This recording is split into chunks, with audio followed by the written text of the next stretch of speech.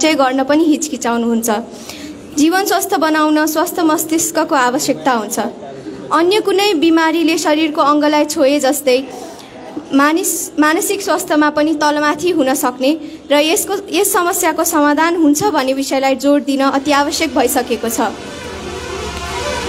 मानसिक स्वास्थ्य समस्या एक गम्भीर स्वास्थ्य समस्या भए तापनि त्यसले हाम्रो समाजमा न्यूनतम प्राथमिकता पाएको देखिन्छ। तथ्याङ्कको कुरा गर्ने नै हो भने नेपाल तथा विकास उन्मुख देशहरूमा कुनै पनि मानसिक स्वास्थ्य मानसिक स्वास्थ्य समस्या भएका पाँचमध्ये चारजना व्यक्तिले प्रभावकारी उपचार नपाएको देखिन्छ। न्यानो अभिवादन। आज मिति असार उन्नाइस दुई हजार उनासीमा Nepal institute of mental health एकीकृत मानसिक स्वास्थ्य क्लिनिक रत्नगर वडा नम्बर एक हुन गएको कार्यक्रममा म डाक्टर स्वीकृति श्रेष्ठ। र म डाक्टर सिल्भिया मर्जन। यहाँहरूलाई हार्दिक स्वागत गर्दछौँ ढिला नगरी अब औपचारिक कार्यक्रमको प्रारम्भ गर्दै म आसन ग्रहणका निमित्त यस कार्यक्रमका सभापति assistant professor at Penn State university of college of medicine साथै यस नेपाल इन्स्टिच्युट अफ मेन्टल हेल्थका अध्यक्ष आदरणीय डाक्टर सञ्जय यादवज्यूलाई आसन ग्रहण गरिदिन हुन हार्दिक अनुरोध गर्दछु।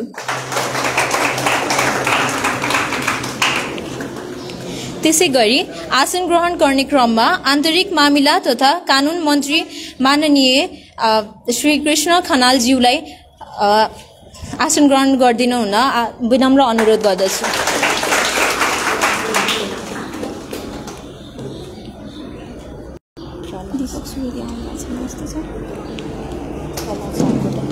त्यस पश्चात आसन ग्रहणका लागि आमन्त्रित गर्न चाहन्छु भरतपुर नगर महानगरपालिका स्वास्थ्य विभाग प्रमुखका आदरणीय दीपक सुवेदीज्यूलाई।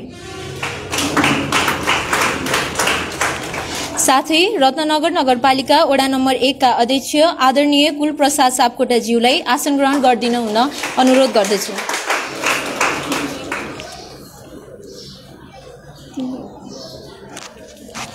आसन ग्रहण गर्ने क्रममा भरतपुर अस्पतालका chief medical superintendent senior consultant orthopaedic surgeon आदरणीय प्रोफेसर डाक्टर कृष्ण प्रसाद पौडेलज्यूलाई आसन ग्रहण गरिदिनु हुन हार्दिक अनुरोध गर्दछु।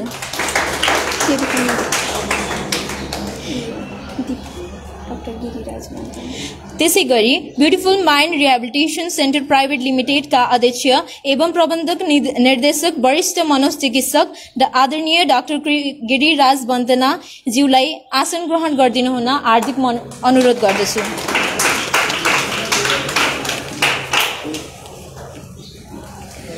प्राइम नेपालका उपाध्यक्ष तथा साइको सोसल काउन्सिलर आदरणीय पार्वती पाण्डेज्यूलाई पनि आफ्नो स्थानमा आसन ग्रहण गरिदिनु हुन हार्दिक अनुरोध गर्दछु। यसै क्रममा रत्नगर रत्नगर नगरपालिका स्थित बकुलर अस्पताल विकास समिति अध्यक्ष सम्मानित व्यक्तित्व आदरणीय गोपाल राज कर्मचारीज्यूलाई आसन ग्रहण गरिदिनु हुन हार्दिक अनुरोध गर्दछु।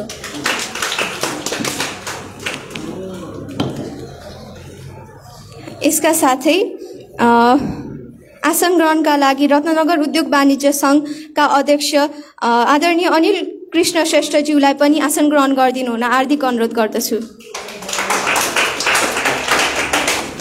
साथसाथै रत्नगर उद्योग वाणिज्य सङ्घ तथा आपूर्ति मन्त्रालय महासचिव तथा रत्नगर रोटरी क्लबका अध्यक्ष आदरणीय निरञ्जन निराजन खनालज्यूलाई म आसन ग्रहण गरिदिनु हुन अनुरोध गर्दछु।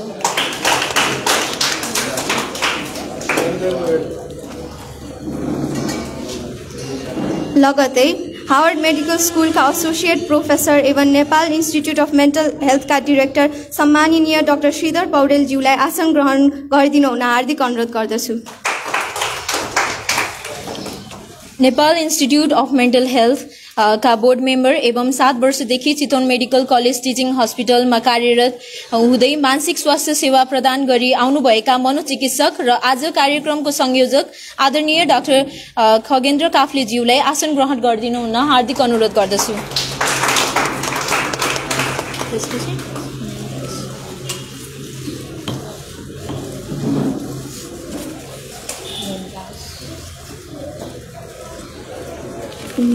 गायत्री हरिहर मन्दिर संरक्षण समितिका अध्यक्ष आदरणीय नेमराज पौडेलज्यूलाई पनि आसन ग्रहण गरिदिनु हुन हार्दिक अनुरोध गर्दछु।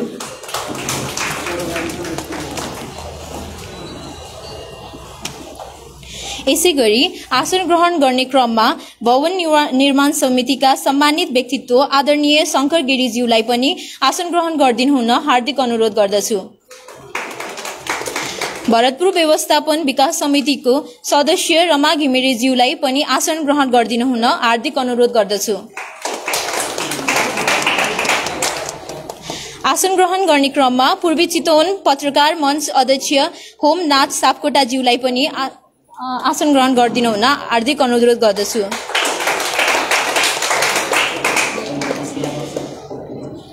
रेड क्रस केन्द्रीय सदस्य आदरणीय तीर्थ घिमिरेज्यूलाई पनि आसन ग्रहण गरिदिनु हुन हार्दिक अनुरोध गर्दछु।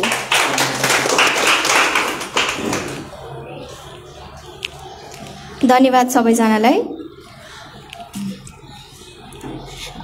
आसन ग्रहण गर्ने क्रममा डाक्टर विजय आचार्य क्यान्सर रोग विशेषज्ञ बिपी कोइराला क्यान्सर अस्पतालका पूर्वी डिरेक्टरलाई पनि आसन ग्रहण गरिदिनु हुन हार्दिक अनुरोध गर्दछु।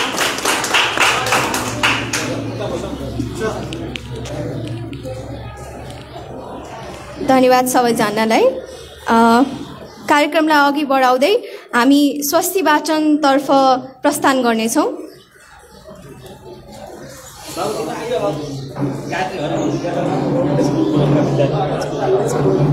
गायत्री हरिहर मन्दिर विद्या गायत्री गुरु गोविन्द विद्यालय। गायत्री हरिहर मन्दिरका विद्यार्थी विद्यार्थीहरूले स्वस्ति वाचन गर्दै हुनुहुन्छ।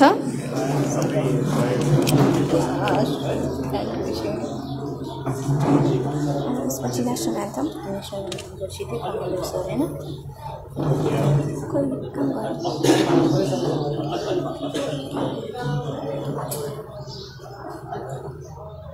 त्यसपछि त्यसपछि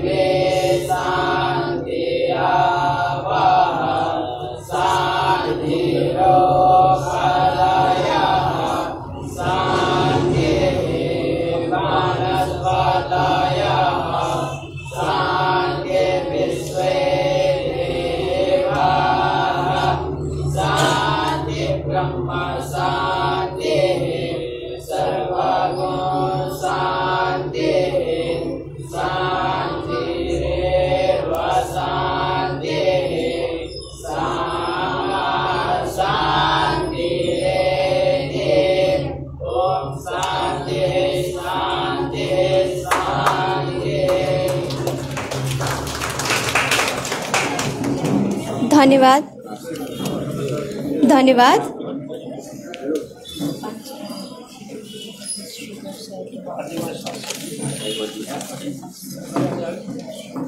जननी जन्मभूमिश्च स्वर्गादपि गरिएसी। नेपाल आमालाई आत्मसात राखी कार्यक्रमलाई अघि बढाउन सबै माझ राष्ट्रगानको लागि आफ्नो यथास्थानमा उभिदिनु हुन हार्दिक अनुरोध गर्दछु।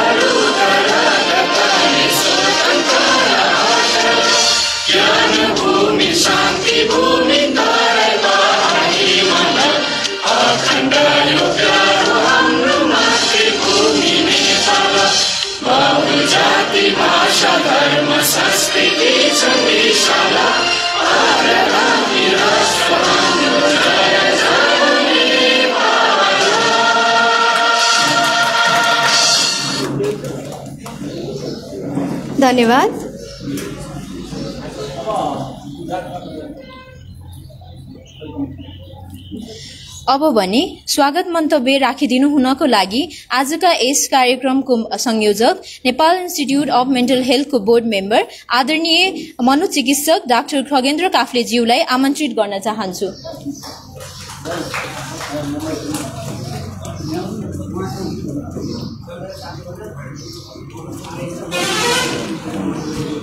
नमस्कार सबैजनालाई। आजको यो ऐतिहासिक दिनमा हाम्रो निमन्त्रणालाई स्वीकार गरेर यहाँ पाल्नुभएका माननीय मन्त्रीज्यू कृष्ण खनाल सर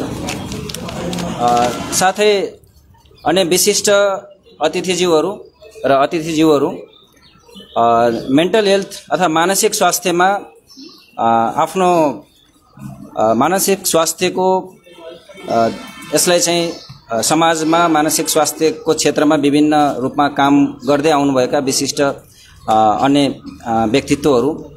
हाम्रो मेडिकल कलेजमा अध्ययनरत हाम्रा विद्यार्थी भाइ बहिनीहरू र अन्य सबै व्यक्तित्वहरू अ, लाई मैले आजको यस कार्यक्रममा निमन्त्रणा स्वीकार गरी आउनुभएकोमा मेरो तर्फबाट धेरै धेरै धन्यवाद दिन चाहन्छु र हाम्रो एनआइओएमएसको तर्फबाट हार्दिक स्वागत गर्दै ढिला नगरिकन कार्यक्रमलाई अगाडि बढाउनको लागि हाम्रो होस्टलाई माइक हस्तान्तरण गर्न चाहन्छु। अनि यो आसन ग्रहणलाई कन्टिन्यू गर्नु गर्नुहुन्छ होला। सूचना दिनुहुन्छ।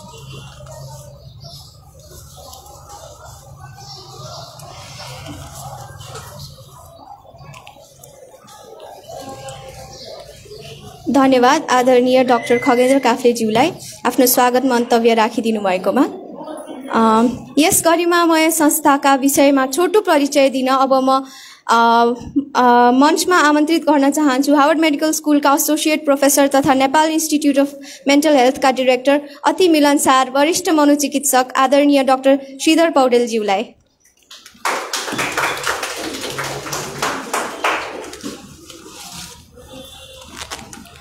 धन्यवाद उद्घोषक साथीहरू। यहाँ उपस्थित सम्पूर्ण अतिथिज्यूहरू प्रमुख अतिथि अनि हाम्रो यस सभाका सभा अध्यक्षज्यू। यहाँ उपस्थित सबै महत्त्वपूर्ण व्यक्तिहरू हाम्रा विद्यार्थी जसले चाहिँ शान्तिको बिगुल बजाएर जानुभयो र सम्पूर्ण साथीहरूलाई म अभिवादन गर्न चाहन्छु। अब हामीले यो national Nepal institute of mental health यो चाहिँ खास यो के हो? एउटा कुरा अर्को यसको आवश्यकता किन भयो अनि हामीले के के गरिरहेका छौँ र के गर्ने हाम्रो योजना छ। सायद यो थाहा भएन भने गाह्रै हुन्छ होला सबैलाई। त्यो कारणले गर्दाखेरि म त्यही तिन चारवटा कुराहरू यहाँहरू समक्ष राख्ने अनुमति चाहन्छु। पहिलो कुरा त हामीले यो Nepal institute of mental health स्थापना गर्न अलि धेरै वर्ष अगाडिदेखि सोच थियो। तर एक वर्षभन्दा अलिकति अगाडि अघिल्लो वर्षको चैत्र महिनामा हामीले यसको विधिवत रूपमा स्थापना गरेर रेजिस्ट्रेसन गरेको हो नेपालमा। यो चाहिँ नाफा नकमाउने गैर नाफामूलक गैर सरकारी संस्थाको रूपमा दर्ता भएको छ। अनि हामीले समाज कल्याण परिषदबाट पनि यसको लागि अप्रुभल लिइसकेका छौँ। र हामीले चाहिँ खास के गर्ने त भन्दाखेरि नेपालमा अघि धेरै कुरा पनि भइसकेको छ धेरैलाई थाहा पनि छ है। एकदम विकराल छ मानसिक समस्या मानसिक स्वास्थ्य समस्या। तर त्यसको पहिचान गर्ने त्यसको उपचार गर्ने र उपचार गर्नको लागि जान सक्ने वातावरण बनाउने।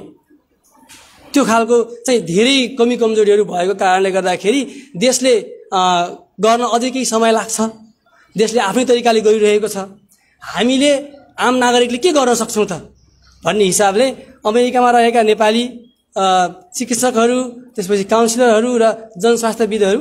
त्यसै गरी नेपालमा भएका जनस्वास्थ्यविद मनोचिकित्सक र अरू काउन्सिलर सहितको ठुलो टिमले चाहिँ हामीले यो यो संस्था स्थापना गर्नुपर्छ। देशलाई देशले काम गर्न नसक्दाखेरि हामीले काँधमा काँध मिलाएर अगाडि बढ्नुपर्छ भन्ने हिसाबले यो संस्थाको निर्माण भएको हो। अनि हामीले के गर्नको लागि निर्माण गऱ्यौँ त? होइन अर्को त्यो महत्त्वपूर्ण प्रश्न हो। हामीले सोचेको के भने देशमा एक मात्र मानसिक अस्पताल छ पाटनमा अथवा काठमाडौँ उपत्यकामा। त्योभन्दा बाहिर के छ त? धेरैजसो मेडिकल कलेजहरूमा केही न केही सुविधा छ तर विशिष्ट खालको अम, स्वास्थ्य सुविधा चाहिँ धेरै ठाउँमा उपलब्ध छैन। अघि पनि यहाँ साथीहरूले भनिसक्नुभयो नब्बे प्रतिशत जनताहरूमा पहुँच छैन मानसिक स्वास्थ्य सेवा होइन? त्यो कारणले गर्दा हामीले नम्बर वान भनेको मानसिक स्वास्थ्य सेवा काठमाडौँदेखि बाहिर जताकतै पुर्याउँ यो मेन्टल हेल्थ फर अल भन्ने एउटा मेन यो थिम हो नम्बर वान नम्बर टू चाहिँ हामीले अब यसको लागि के चाहिन्छ त? जनशक्ति चाहिन्छ? जनशक्ति छैन नभएरै गाह्रो भएको धेरै जसो त्यो जनशक्ति उत्पादन गर्नको लागि चाहिँ हामीले दोस्रो कार्यक्रम गर्ने। तेस्रो चाहिँ यो कुरा अब हाम्रो के छ? हाम्रो थाहा पाउनु पऱ्यो नि के भइरहेछ संसारमा यो हाम्रो देशमा भनेर त्यही भएर रिसर्च अनुसन्धान गर्ने अर्को कुरा हो। अनि यहाँ धेरैजसो मान्छेहरू घरमा अब यहाँ भएको आफै मनन गर्नुहोस् कसैलाई भन्नु पर्दैन। तपाईँले चिनेको कोही एक एकजना पनि मान्छेलाई डिप्रेसन एन्जाइटी अथवा यो मनोस्वास्थ्य समस्या नभएको कोही मान्छे छ होला? छैन। सबैलाई थाहा छ। होइन? अझ कतिपय साथीले त हामीले देखेको होला कोही मान्छे आत्महत्या गरेको देखेको देखेको पनि छौँ होला अथवा सुनेको छौँ होइन? भनेपछि यो विकराल समस्या हो।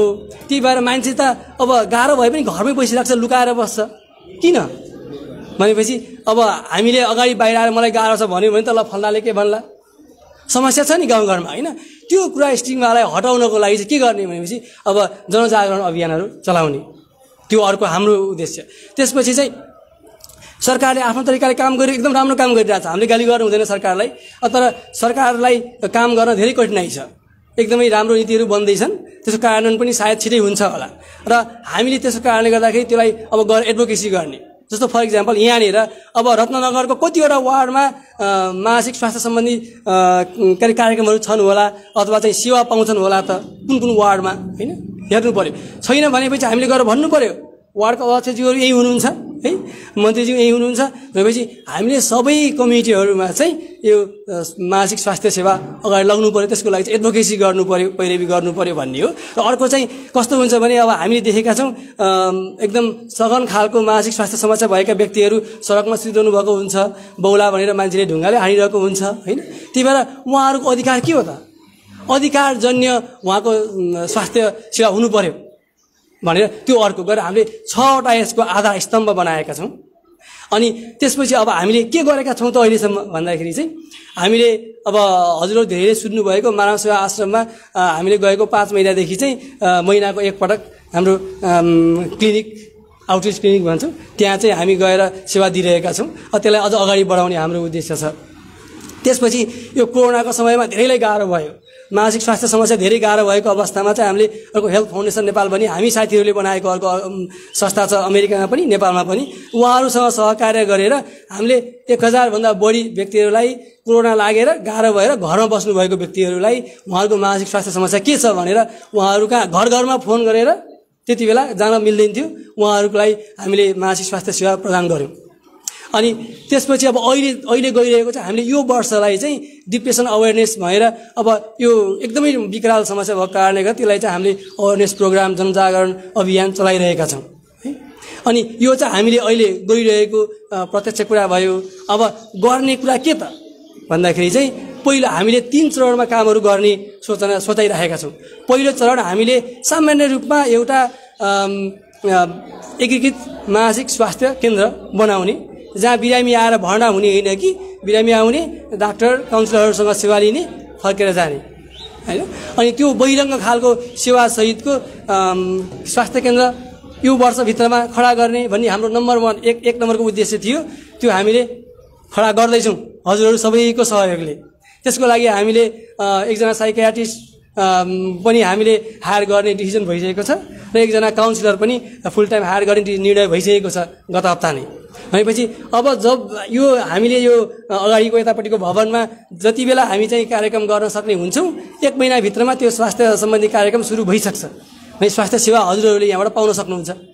त्यसपछि दुई वर्षभित्रमा हामीले चाहिँ कम्तीमा पनि पच्चिस बेड सहितको अस्पताल निर्माण गर्ने।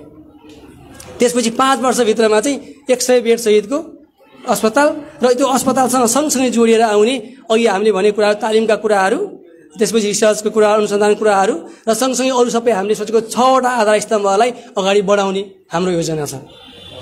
तर यो योजना हामीले धेरैजसो साथीहरू अमेरिका बसेर केही साथीहरू काठमाडौँ बसेर केही चितवन बसेर हामीले गरिरहेका छौँ है। तर हामीले मात्रै त्यो गरेर सम्भव छैन मलाई थाहा छ। जति राम्रो कुरा गरेर अमेरिकामा बसेर चिल्ला कुरा गरेर केही पनि हुनेवाला छैन। हजुरहरूले यदि सहयोग गर्नुभयो भने हजुरहरूको सल्लाह सुझाव हामीले पाइराख्यौँ भने यो कुरा अत्यन्त सम्भव छ। एकदमै छिटै सम्भव छ। त्यही भएर हामी सबैले मिलेर गऱ्यौँ भने असम्भव छैन। यो देशको मानसिक स्वास्थ्य सम्बन्धी मुहार हामीले फेर्नुपर्छ।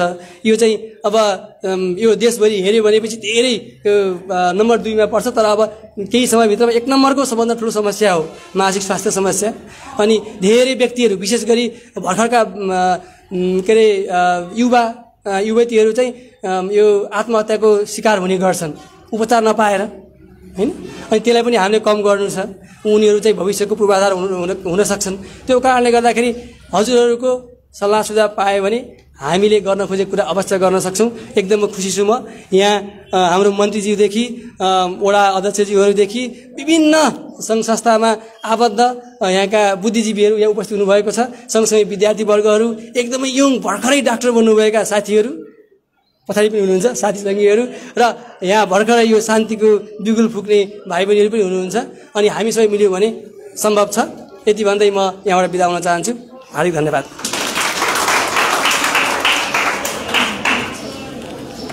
छवटा आदर्श स्तम्भ बोकी हिँडिएको एनआइओएमएसको बारे जानकारी दिनुभएकोमा डाक्टर श्रीधर पौडेल सरलाई धन्यवाद।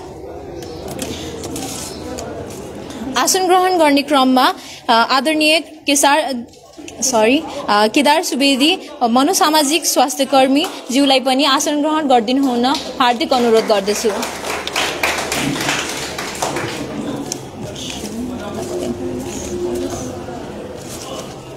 हामी कार्यक्रमको मुख्य केन्द्रबिन्दुमा आएका छौँ। औपचारिक कार्यक्रम पार- प्रारम्भ गर्नलाई म आदरणीय सभापति डाक्टर सञ्जय यादवज्यू प्रमुख अतिथि आदरणीय कृष्ण खनालज्यू र विशिष्ट अतिथि आदरणीय प्रहलाद सापकोटाज्यूलाई दीप प्रज्वलित गरी उद्घाटन गरिदिनु हुन अनुरोध गर्दछु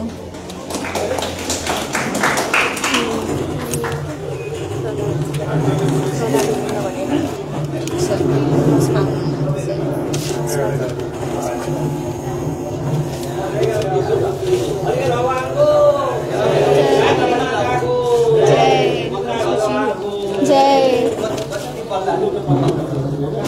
कृष्ण प्रसाद पौडेल त्यसपछि पनि तिम्रै छ दिपक सुवेदी कृष्ण प्रसाद पौडेल चाहिँ सुनिल कुमार शर्मा हुनु होइन कृष्ण प्रसाद पौडेल दिपक दिपक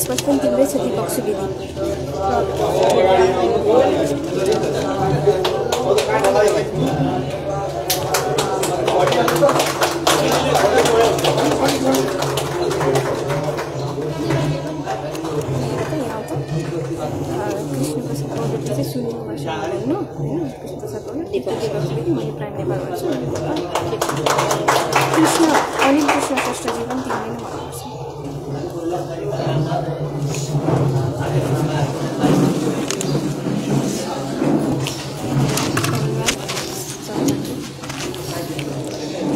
धन्यवाद सबैजनालाई। अब भने शुभकामना मन्तव्य राख्नको लागि भरतपुर अस्पतालका chief medical superintendent senior consultant orthopaedic surgeon आदरणीय प्रोफेसर डाक्टर कृष्ण प्रसाद पौडेलज्यूलाई हार्दिक आमन्त्रित गर्दछु।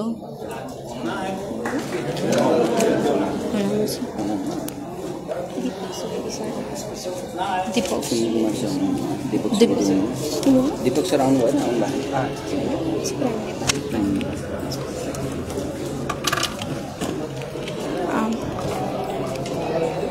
कार्यक्रमलाई अगाडि बढाउँदै प्राइम नेपाल एउटा नन प्रफिट अर्गनाइजेसन हो जसको स्थापना दुई हजार उन्नाइस सालमा भएको थियो र यो संस्थाले मेन्टल हेल्थ तथा साइकोसोसल सर्भिसेस दिँदै आएको छ। यस संस्थाका उपाध्यक्ष एवं साइकोसोसल काउन्सिलर सम्मानित पार्वती पाण्डेज्यूलाई शुभकामना मन्तव्य राखिदिनु हुन हार्दिक अनुरोध गर्दछु।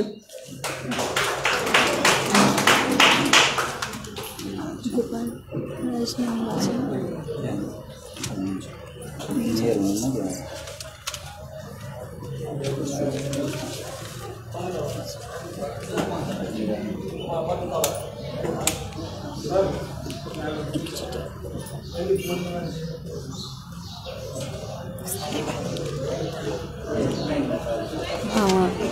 सर्वप्रथम सबैजनालाई नमस्कार र धन्यवाद दिन चाहन्छु। यो आयोजक संस्थालाई Nepal institute of me mental health एकीकृत मानसिक स्वास्थ्य क्लिनिक स्थापना कार्यक्रमका आयोजक संस्थाका सम्पूर्ण टिमलाई धन्यवाद दिन चाहन्छु। उहाँहरूले हामीलाई यस कार्यक्रममा चाहिँ आएर सहभागी हुने अथवा शुभकामना मन्तव्य दिने अवसर दिनुभएकोमा हृदयदेखि नै संस्थागत रूपमा र व्यक्तिगत रूपमा चाहिँ म धन्यवाद दिन चाहन्छु। मलाई एकदमै खुसी पनि लागेको छ किन भन्दा विगत तेह्र वर्षदेखि मनोसामाजिक मानसिक स्वास्थ्यको क्षेत्रमा चाहिँ मैले आफैले एउटा मनोविमर्शकर्ता भएर काम गरिरहँदाखेरि चाहिँ धेरै अप्ठ्यारो चुनौतीहरू मैले आफैले सामना गर्दै आइरहेको छु। नेपालको विभिन्न ठाउँमा काम गर्ने क्रममा चाहिँ जुन संस्थाले चाहिँ उद्देश्यका साथ चाहिँ अब यो रत्ननगर नगरपालिकामा रहेर चाहिँ जुन खालको सेवा सुचारू गर्न आँट्नु भएको छ यो चाहिँ अति नै आवश्यकता छ। यो रत्ननगरमा मात्रै नभएर यो नेपालभरि नै अति आवश्यक कुरा हो र विगत दस वर्ष चाहिँ हामीले चितवन जिल्लामा पनि प्राइम भन्ने एउटा प्रोजेक्ट थियो। त्यसमा रहेर चाहिँ टिपिओ नेपाल भन्ने संस्थाबाट हामीले काम गरेका थियौँ। जुन मोडल उहाँहरूले काम गर्दै हुनुहुन्छ यही मोडलमा हामीले पनि काम गरेका थियौँ र विभिन्न अध्ययन अनुसन्धान सँगसँगै सहयोग गर्ने कामहरू भएको थियो चितवन जिल्लाभरि नै। जुन कार्यक्रम चाहिँ हामीले हस्तान्तरण गरिसके पछाडि चाहिँ गभर्मेन्टबाट जति खालको जुन खालको चाहिँ एउटा चाहिँ त्यसलाई एडप्ट गर्नुपर्ने थियो अथवा चाहिँ त्यसलाई अँगाल्नु पर्ने थियो त्यो शत प्रतिशत नभए पनि केही मात्रामा चाहिँ त्यो चाहिँ सुचारू हुन सक्यो र आगामी दिनमा चाहिँ के भन्न चाहन्छु भन्दा जुन संस्थाले उद्देश्यका साथ चाहिँ यहाँ काम गर्न लागिरहनु भएको छ यो कुराहरू चाहिँ स्थानीय तहमा हाम्रो स्थानीय सरकारले पनि यसलाई अँगालेर होइन यो चाहिँ हाम्रो एउटा स्वास्थ्यको एउटा महत्त्वपूर्ण पाटो हो। शारीरिक स्वास्थ्यलाई हामी जसरी महत्त्वपूर्ण ठान्छौँ त्यस्तै नै म हाम्रो मन मस्तिष्क नै ठिक भएन भने हामी पूर्ण रूपमा स्वस्थ हुन सक्दैनौँ। हामीले यसलाई चाहिँ स्वीकार्न सकिरहेका छैनौँ कि। अब जस्तो मेरै घरमा समस्या भयो भने मैले नै अर्कोलाई भन्न सक्दिनँ कि मेरो परिवारमा चाहिँ कोही चाहिँ यस्तो समस्याबाट ग्रसित हुनुहुन्छ अथवा प्रभावित हुनुहुन्छ भनेर मैले खुल्न सक्ने अवस्था छैन। त्यसैले गर्दाखेरि पनि हामीले यसमा चाहिँ आवाज उठाउन सचेतनामूलक कार्यक्रमहरू गर्न धेरैभन्दा धेरै चाहिँ हामीले चाहिँ सचेत बनाउन चाहिँ अति नै आवश्यक देख्छु यो यो क्षेत्रमा होइन? तब मात्रै हामीले यो आत्महत्याको घटनाहरूलाई रोक्न सक्छौँ। सँगसँगै यो मनोसामाजिक मानसिक स्वास्थ्यलाई पनि मा शारीरिक स्वास्थ्य जस्तै प्राथमिकता साथ हामीले यो नेपालभरि नै विस्तार गरेर लैजान सक्छौँ। यति भन्दै यो आयोजक संस्थालाई फेरि पनि धेरै धेरै शुभकामना दिन चाहन्छु र उहाँले जुन किसिमले कार्यक्रम सुरुवात गर्न थाल्नु भएको छ यसमा हाम्रो संस्थाको प्राइम नेपालको तर्फबाट पनि हाम्रो साथ सहयोग यहाँलाई अति नै रहनेछ। यो पनि बाचा गर्न चाहन्छु म संस्थागत रूपमा। चाहिँ हामी सहकारी गरेर अगाडि बढ्न पनि चाहन्छौँ यहाँहरूसँग। यति भन्दै फेरि पनि शुभकामना दिँदै आफ्नो मन्तव्य यहीँ टुङ्ग्याउँछु हस् धन्यवाद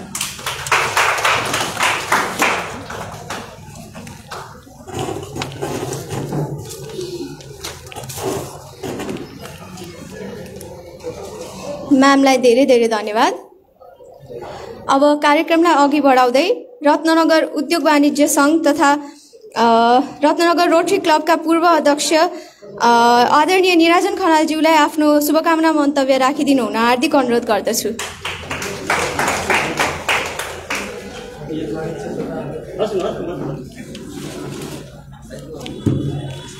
हाँ, धन्यवाद सञ्चालिका दय आजको यस स्थापना कार्यक्रम कार्यक्रमका आदरणीय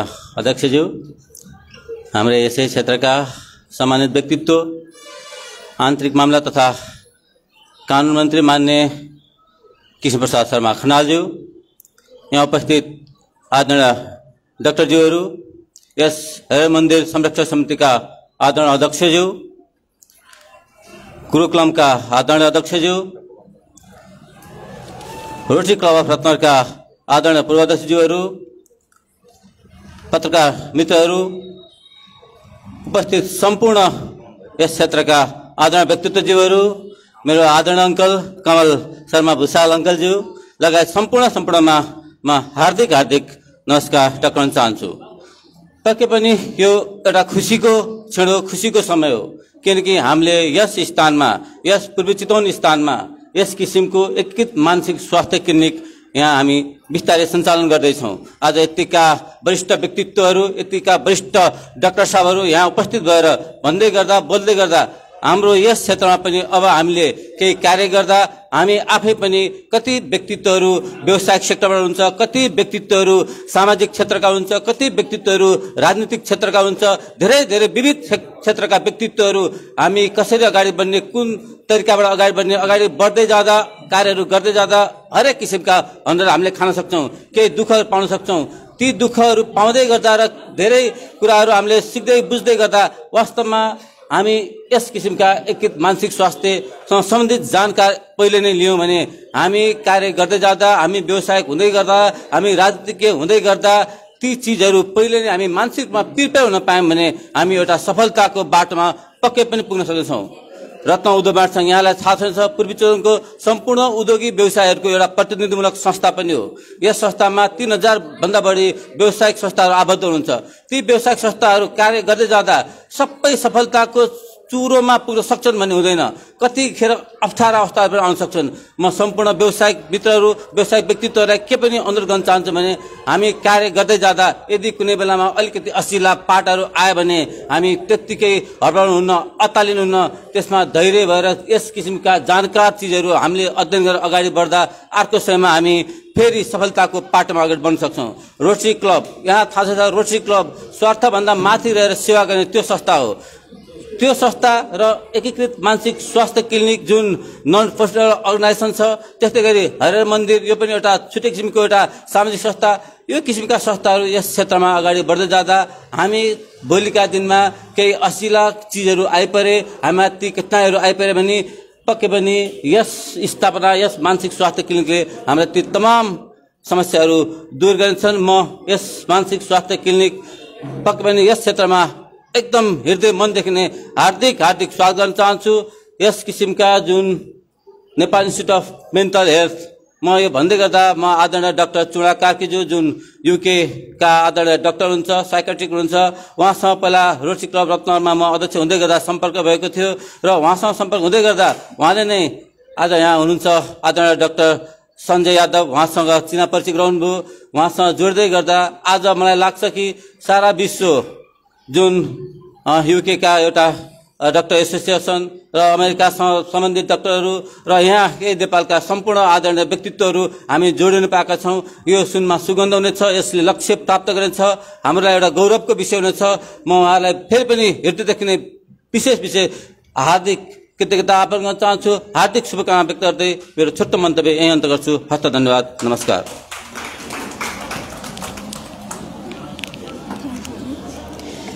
धन्यवाद। अब अब अगाडि बढ्ने क्रममा beautiful mind rehabilitation centre private लिमिटेडका अध्यक्ष एवं प्रबन्धक निर्देशक वरिष्ठ मनोचिकित्सक आदरणीय डाक्टर गिरिराज बन्थनाज्यूलाई आफ्नो छोटो मन्तव्य राखिदिनु हुन यहाँ हार्दिक अनुरोध गर्दछु। धन्यवाद कार्यक्रम सञ्चालिका। यस सभाका सभापतिज्यू सायद म अलिकति ढिलो भएँ मैले ज्ञान नभएको हुनसक्छ। प्रमुख अतिथिज्यू माननीय कानुन तथा सङ्घीय मामिला मन्त्री कृष्ण खनालज्यू। यहाँ उपस्थित सम्पूर्ण मानसिक स्वास्थ्यसँग सरोकार राख्ने सरोकारवालाज्यूहरू मैले यो शब्दले सम्पूर्ण नेपाली जनमानसलाई समेट्न चाहेँ किनकि मानसिक बिमारी आफैमा बिमारी हुन्छ। त्यो परिवार पस अवश्य पनि सरकारवाला हुन्छ। त्यसपछि समाज आउँछ। समाज त्यत्तिकै सरकार गर्छ। त्यसपछि सरकार सरकारसँग आबद्ध सबै जनता मानसिक स्वास्थ्यसँग सरकार नभएको व्यक्ति नेपालमा कोही पनि छैन। सबैजना सरकारवाला हुनुहुन्छ। पत्रकार बन्धुहरू त त्यसमाथि पनि त्यो सरकारलाई जनचेतनामूलक बनाउनको लागि स्थापित हुनुहुन्छ। उहाँहरूलाई म विशेष यहाँको उपस्थितिको लागि विशेष धन्यवाद दिन चाहन्छु। साथीहरू आफूले कयौँ दुःख यो शिक्षा हासिल गर्नुभएको छ र उच्च शिक्षा हासिल गर्नुभयो अमेरिका जानुभयो र आफ्नै देश आफ्नै ठाउँ आफ्नै परिवेशमा पुनः केही गर्नुपर्छ भनेर फर्किनुभयो। र उहाँलाई विशेष विशेष धन्यवाद दिन चाहन्छु। किनकि यो सम्पूर्ण नेपालीहरूको सबैभन्दा पिछडिएको वर्ग हो मानसिक स्वास्थ्य। कोही दलित छैन कोही अपाङ्ग छैन कोही जनजाति छैन कोही मधेसी पहाडी छैन कि यति पीडित पक्ष छ मानसिक रोगी नेपालमा। जसलाई पागल बौला जड्या टाबे भनिन्छ तर चाहिँ उपचारमा लगिँदैन। यस्तो क्षेत्रमा काम गर्नको लागि उहाँहरूले जुन किसिमको तदारुकता देखाउनु भएको छ र ठुला ठुला प्रोजेक्टहरू पनि लिएर आउनु भएको छ र अहिले एकीकृत मानसिक स्वास्थ्य क्लिनिकको रूपमा आफ्नो सेवालाई स्थापित गर्दै हुनुहुन्छ। उहाँहरूलाई विशेष धन्यवाद दिन दिँदै म उहाँलाई हार्दिक स्वागत पनि गर्न चाहन्छु।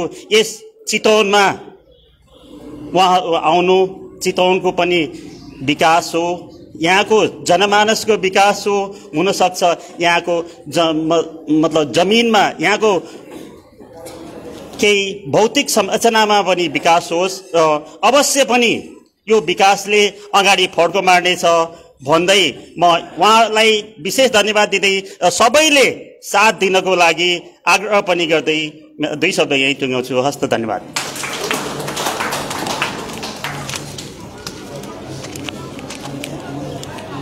धन्यवाद।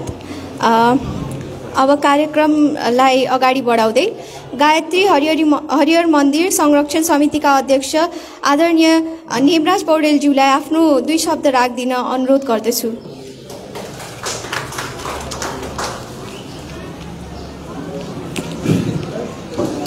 म सर्वप्रथम यहाँहरूलाई दण्डवत प्रणाम गर्न चाहन्छु र म हरिहर मन्दिरको तर्फबाट भगवान् हरिहरको पाउमा दण्डवत प्रणाम गर्न चाहन्छु।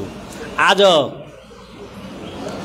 को चाहिँ Nepal institute of mental health एकीकृत मानसिक स्वास्थ्य शिविर क्लिनिकको सभापतित्व ग्रहण गर्नुहुने सभापतिज्यू हाम्रो सामुन्ने माननीय मन्त्रीज्यू प्रमुख प्रमुख अतिथिको रूपमा आसन गर्नुभएको छ। उहाँ एउटा सामाजिक व्यक्तित्वको रूपमा मैले पाएको छु। त्यो त्यसै गरी वडा अध्यक्षज्यू त्यसै गरी निरञ्जन खनालज्यू डाक्टर साहेबहरू सम समस्त विशिष्ट व्यक्तित्वहरू। मेरो सामुन्ने महान महान व्यक्तिहरू उपस्थित हुनुहुन्छ। मलाई आज खुसी लागेको छ।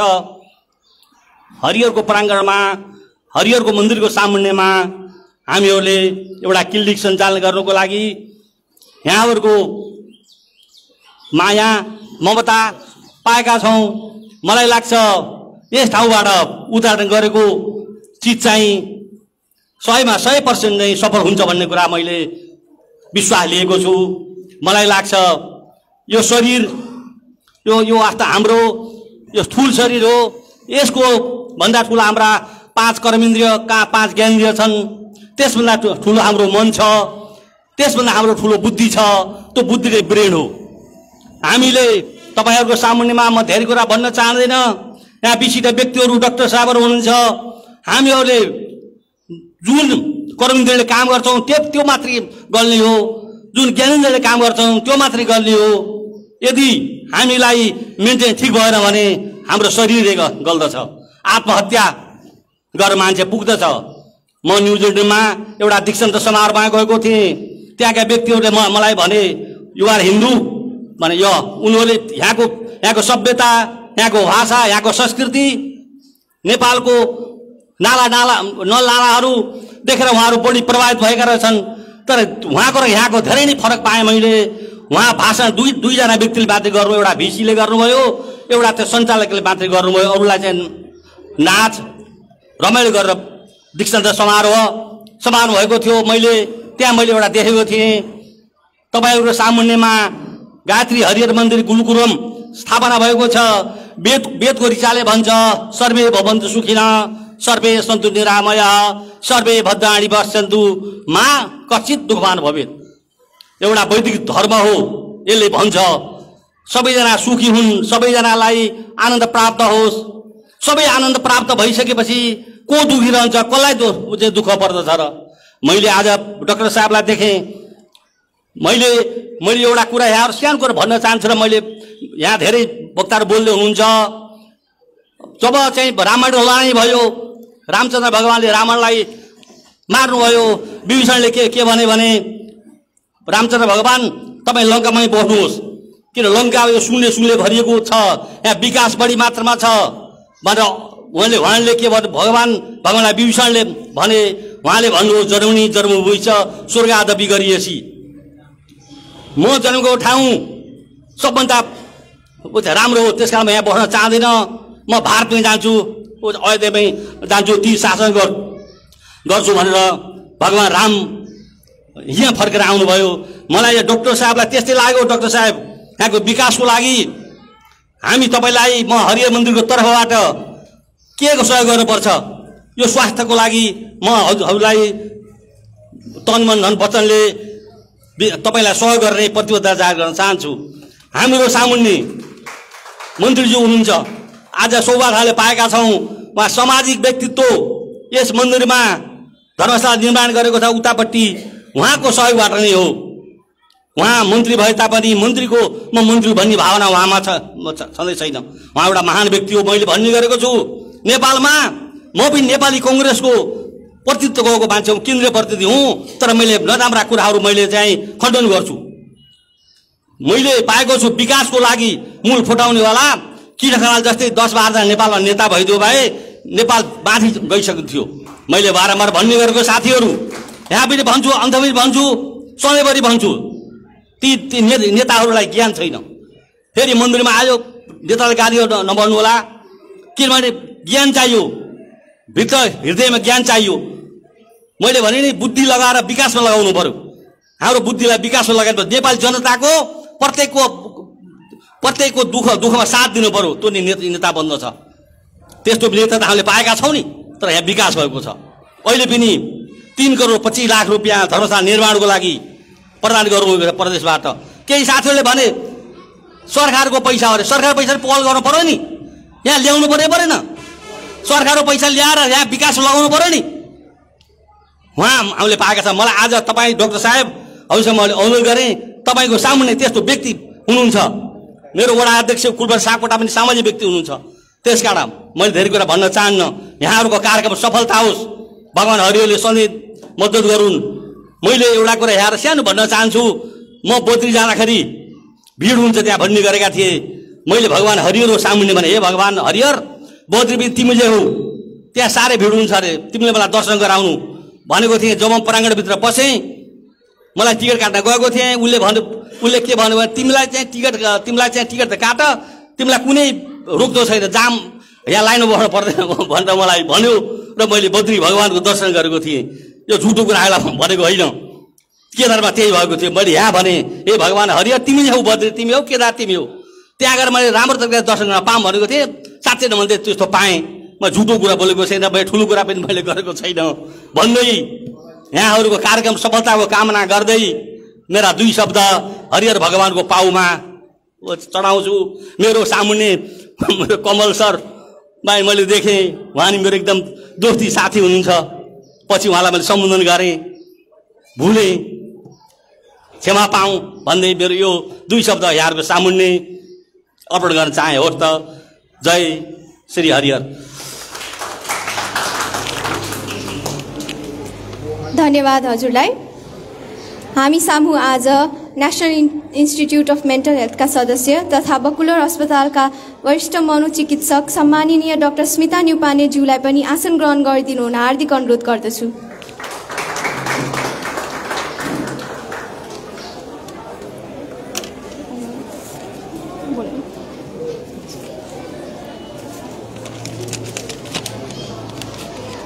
त्यसका साथसाथै executive director of beautiful mind institute of साइकेट्रीलाई साइकेट्रीका आदरणीय कमल शर्मा भूषालज्यूलाई पनि दुई शब्द राखिदिनु हुन हार्दिक अनुरोध गर्दछु।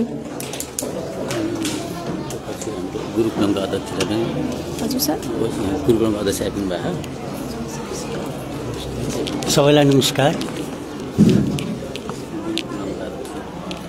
अब सबैलाई पहिला म आफ्नो तर्फबाट र beautiful mind institute of psychiatry Khairani नगरपालिका वडा नम्बर एघार गण्ड्याको तर्फबाट हार्दिक अभिवादन गर्न चाहन्छु।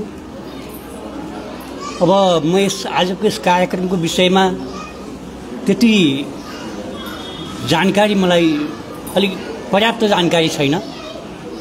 तथापि म यहाँ उपस्थित छु र मलाई यहाँ केही शब्दहरू राख्नको लागि जुन आयोजकको तर्फबाट अनुमति दिइयो। यसको लागि म कृतज्ञता पनि ज्ञापन गर्न चाहन्छु धन्यवाद पनि दिन चाहन्छु।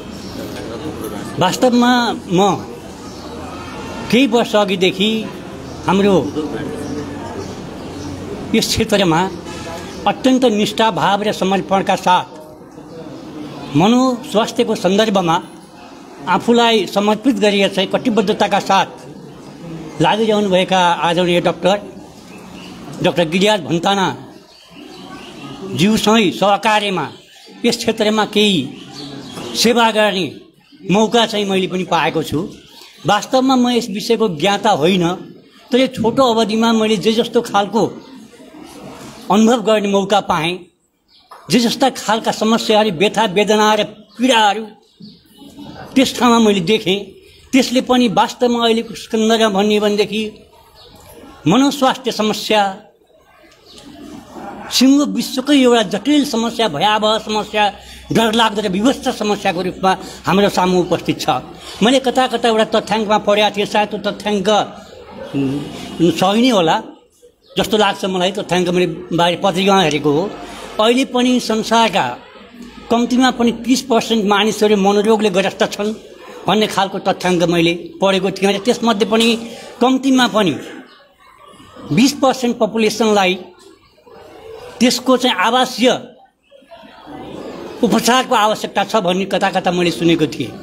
त्यो अहिले हामीले हाम्रै देशको पपुलेसनलाई आधार मान्ने हो भने पनि त्यो तत्कालीन जनगणनालाई हेर्ने हो भने तिन करोडको हाराहारीमा मान्दा पनि हामी कहाँ पनि लगभग छ लाख मानिसहरूले आवासीय मनोस्वास्थ्य सेवा उपचारको आवश्यकता छ। तर हामी कहाँ यस खालका सङ्घ संस्थाहरू अत्यन्त न्यून मात्रामा न्यून नभनौँ उपस्थिति नै देखिँदैन वास्तवमा भन्यो भनेदेखि यसप्रति कुनै व्यक्तिगत प्राइभेट कम्पनीहरू अथवा व्यक्तिको निजी क्षेत्रबाट भन्दा पनि यसमा सरकारबाट पनि विशेष पहल हुनुपर्ने आवश्यकता हो। तर विडम्बना अघि हाम्रो चाहिँ निवराज दाईले पनि भन्नुभयो हामी एउटा राज्यमा छौँ हामी सरकार हामीसँग सरकार पनि छ तर हामी राज्यविहीन। र सरकारविहीन अनुभूत गर्नुपर्ने अवस्थामा पनि हामी छौँ। हामीले हाम्रा आधारभूत आवश्यकताहरूको सन्दर्भमा कहिल्यै पनि एउटा संवेदनशील सरकार पाउनु नपाउनु हाम्रो दुर्भाग्य पनि हो। तैपनि हामी आशा गरौँ अहिले जुन खालको युवा पुस्ता र दाले पनि भन्नुभयो कृष्ण खनाल जस्ता व्यक्तित्वहरू हुनुहुन्छ जसले यस विषयमा आफूलाई अगाडि सार्नु भएको छ र हामी केही गर्छौँ भने मनसाका साथ अगाडि आउनु भएको छ उहाँहरूलाई हामी स्वागत गरौँ। म धेरै कुराहरू गर्न चाहन्छु म यहाँ चाहिँ आफ्नो सिप कौशलता क्षमता योग्यता र दक्षतालाई म आफ्नै जन्मभूमिमा लगानी गरी यहाँको पीडासँग म एकाकार हुन भन् चाहन्छु भन्ने मान्यताका साथ जो आदरणीय डक्टर साहबहरू यहाँ आउनु भएको छ म उहाँहरू सबैको नाम पनि जान्दिनँ। त्यति परिचित पनि छैन म। म उहाँहरूको प्रति म अपरिचित नै भए पनि म सिङ्गो हाम्रो यस मनोस्वास्थ्यसँग सम्बन्धित नेपालमा कार्यरत सम्पूर्ण मनोस्वास्थ्यमा सेवा र जनशक्तिको तर्फबाट पनि उहाँहरूलाई म हार्दिक धन्यवाद ज्ञापन गर्न चाहन्छु। म धेरै कुरा भन्नु जानुभन्दा पनि मैले मनोस्वास्थ्यका समस्याबाट पीडित ती मानवहरूलाई चाहिँ अत्यन्त नजिकबाट देखेको छु। मनोस्वास्थ्यको क्षेत्रमा चाहिँ काम गरिरहँदा मैले के पाएँ भने त्यहाँ एउटा मनोरोगी मात्र अस्वस्थ हुँदैन। त्यहाँ उसको सिङ्गो परिवार उसको आसपास छ छिमेक सबै त्यो मनोरोगबाट पीडित भएको जस्तो मैले अनुभूत गरेँ।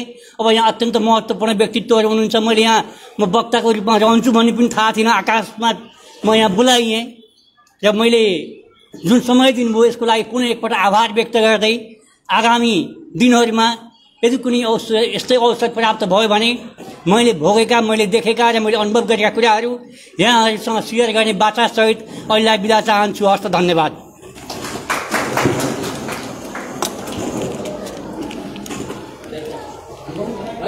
धन्यवाद हजुरलाई।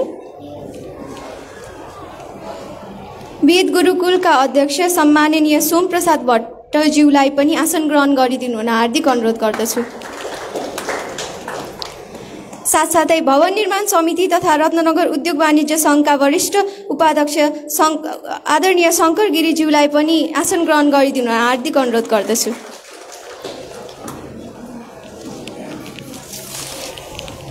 सदैव सदैव सामाजिक विषयवस्तुलाई लिई अति मन छुने भावुक कविता लेख्ने हाम्रो साथी डाक्टर दिलीप अधिकारीलाई बोलाउन चाहन्छु।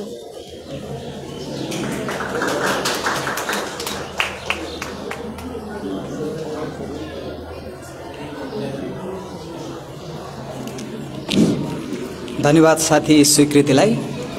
Nepal institute of mental health कार्यक्रमका प्रमुख अतिथिज्यू विशिष्ट अतिथि तथा सम्पूर्ण अतिथिज्यूहरूमा म डाक्टर दिलीप अधिकारीको न्यानो अभिवादन। मान्छे शरीर मात्र होइन मन पनि हो। र अघि म त्यहाँ बस्दाखेरि कति कुराहरू भनौँला भनिरहेको थिएँ अहिले यहाँ कामिरहेको छु। यस्तै छ हाम्रो मन कसले बुझ्छ यी कुराहरू? त्यसैले मनका कुराहरू पोख्नुपर्छ भन्नुपर्छ भन्ने हिसाबले हाम्रो आदरणीय डाक्टर साहबहरूले मेन्टल हेल्थलाई केही गर्ने हिसाबले यहाँ रत्नगरमा कार्यक्रम गर्दै हुनुहुन्छ। र म पनि मनोचिकित्सकमा अलिकति यो विषयमा जान्न र यसमा अलिकति आफ्नो इन्ट्रेस्ट भएको कारणले आफूले देखेका र समाजमा भोगेका केही कुराहरू कविता मार्फत प्रस्तुत गर्ने जमर्को गरिरहेको छु। मनका कुरा त भए लेख्दा लेख्दा लामो भएछ। कृपया कति लामो लेखेछ झ्याउै लाग्यो भन्ने नसोचिकन सुनिदिनु हुन अनुरोध गर्दछु। मेरो कविताको शीर्षक छ मनका कुरा। सुरु गर्ने अनुमति माग्दछु है त?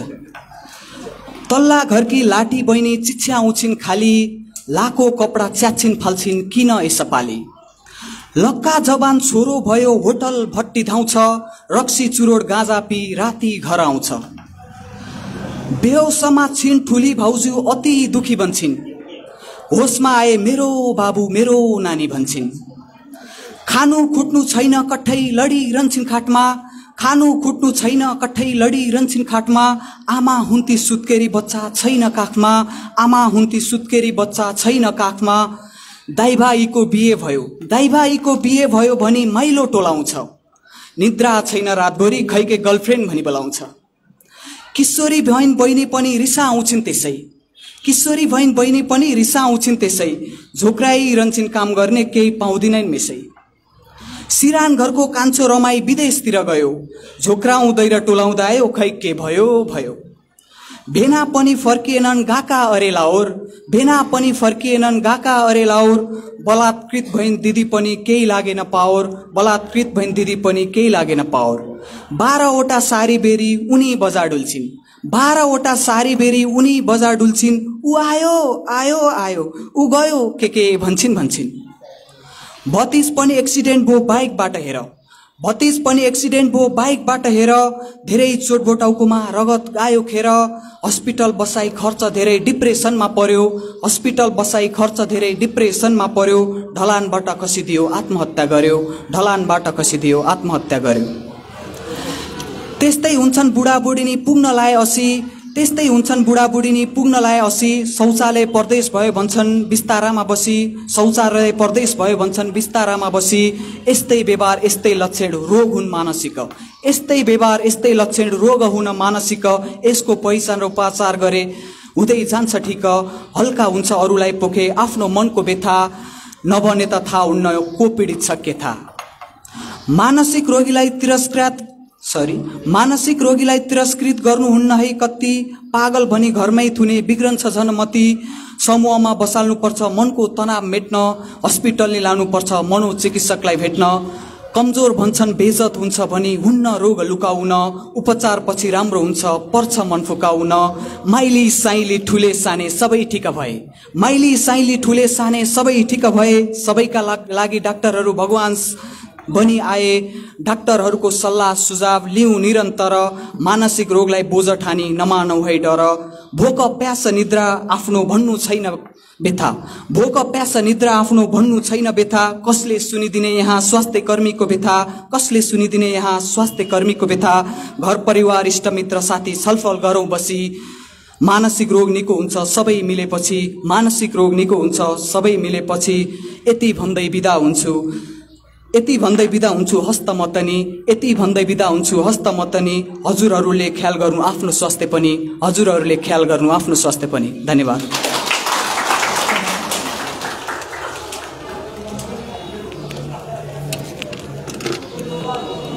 धन्यवाद मित्र दिलीप।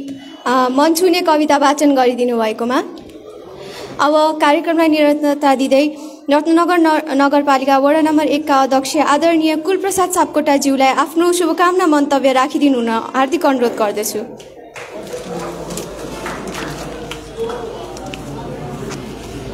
धन्यवाद। कार्यक्रम सञ्चालिका बहिनी। Nepal institute of mental health एकीकृत मानसिक स्वास्थ्य क्लिनिक स्थापना कार्यक्रमका सभा अध्यक्ष डाक्टर सञ्जय र आज यस कार्यक्रमका प्रमुख अतिथि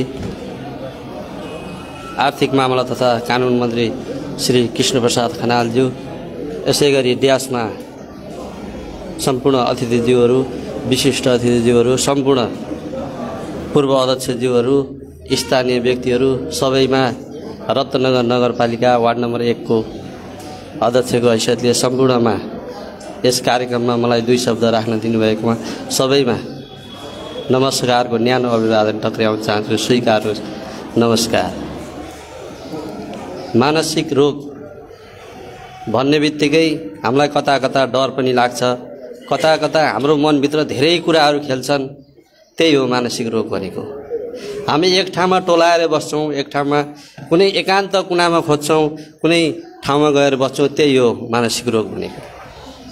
मैले पनि मेरो घरमा मेरो आमा मानसिक रोगी हुनुहुन्थ्यो। आमाले एकातिर जानुहुन्थ्यो म आमालाई डोराउँथेँ। आमा कहिले यता जानुहुन्थ्यो कहिले यता जानुहुन्थ्यो मैले बोलाएर लिएर आउँथेँ। मानसिक रोग साँच्चीकै मानसिक रोग। एकदमै त्यो घर परिवारलाई उहाँले भनेको जस्तो त्यो घर परिवार सबैलाई त्यही कुरा त्यो जो मान्छे बिरामी छ त्यही मान्छेको मात्रै पट्टि ध्यान केन्द्रित भएर जान्छ। मानसिक रोग उपचारको लागि मैले विभिन्न ठाउँहरूमा पनि लिएर गएको छु आमालाई। र उहाँहरूसँग एउटा शक्ति हुन्छ डाक्टर साहबहरूसँग।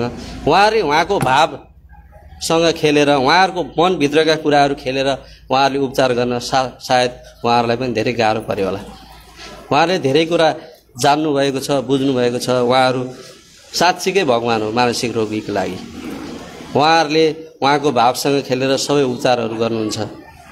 र यस रत्नगर नगरपालिका वार्ड नम्बर एकमा यो मानसिक इन्स्टिच्युट हेल्थ खोलेर सम्पूर्ण नगरवासीहरूलाई उत्साहजनक हिसाबले उहाँहरूले गर्ने सेवा उहाँहरूले गर्ने सुविधा प्रति हामी रत्नगर नगरपालिका उहाँहरूको साथ र सहयोगमा सधैँ जुट्ने विश्वास दिलाउँदै मेरा दुई शब्द लामो समय नलिकन मेरा दुई शब्द यही टुङ्ग्याउँछु। हस्त धन्यवाद नमस्कार।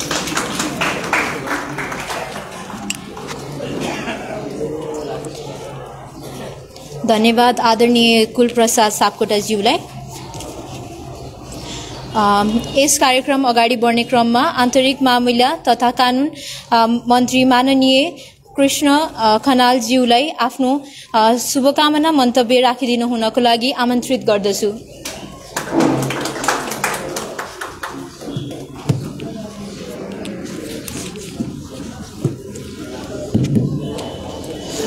यस कार्यक्रमका अध्यक्षज्यू मञ्चमा रहनुभएका विशिष्ट व्यक्तित्वहरू यो संस्थालाई यो क्षेत्रमा स्थापित गराउनुपर्छ भनेर